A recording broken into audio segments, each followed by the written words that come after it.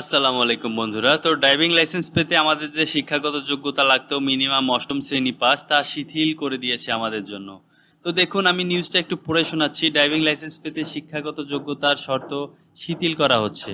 এখানে দেখেন, বিদ্যমান সড়ক পরিবহন আইন দুই হাজার আঠারো এর বড় পরিবর্তন আনতে সংশোধনের উদ্যোগ নেওয়া হয়েছে। বিভিন্ন সংশোধনীর মধ্যে শিক্ষাগত যোগ্যতা শিথিল করার প্রস্তাব করা হয়েছে এ সংক্রান্ত খসড়ায়। তো খসড়ায় ড্রাইভিং লাইসেন্স পেতে ন্যূনতম শিক্ষাগত যোগ্যতার পরিবর্তনের কথা বলা হয়েছে অষ্টম শ্রেণির পরিবর্তে পঞ্চম শ্রেণি পর্যন্ত।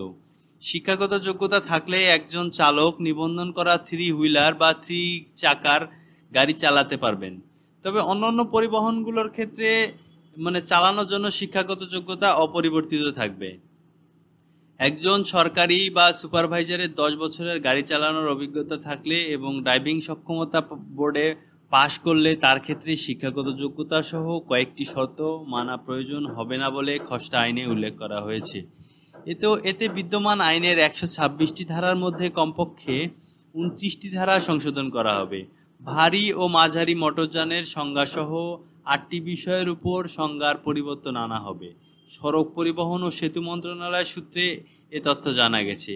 এদিকে বাংলাদেশ সড়ক পরিবহন কর্তৃপক্ষ বিআরটিএ জানিয়েছে, এখনও ড্রাইভিং লাইসেন্সের পূর্বশর্ত হল লার্নার বা শিক্ষানবিশ ড্রাইভিং লাইসেন্স।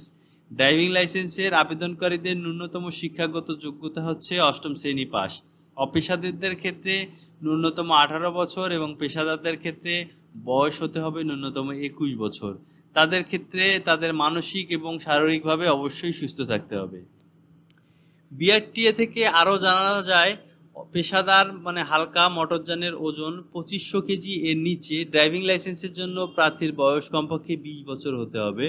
আর পেশাদারের মাধ্যম মানে যে মধ্যম গাড়ি, যেটা পঁচিশশো থেকে পঁয়ষট্টিশো কেজি, ড্রাইভিং লাইসেন্সের জন্য প্রার্থীর বয়স হতে হবে তেইশ বছর এবং পেশাদার হালকা ড্রাইভিং লাইসেন্স ব্যবহারের কমপক্ষে তিন বছর হতে হবে। তো পেশাদার ভারী, অর্থাৎ ছয় হাজার পাঁচশো কেজির উপরে যেগুলো, সেগুলো ড্রাইভিং লাইসেন্সের জন্য প্রার্থীর বয়স কমপক্ষে ছাব্বিশ বছর হতে হবে এবং পেশাদারদের মাধ্যম ড্রাইভিং লাইসেন্সের ব্যবহার কমপক্ষে তিন বছর হতে হবে।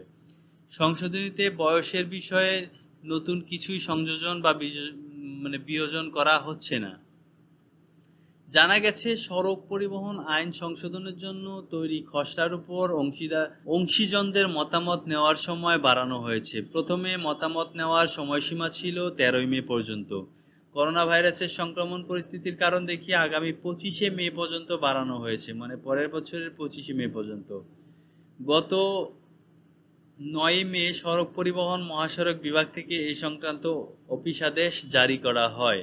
তো দেখেন, এ সম্পর্কে দৈনিক ইনকিলাবেও একটা নিউজ আছে, তো আমি আর তেমন বেশি কিছু পড়ব না।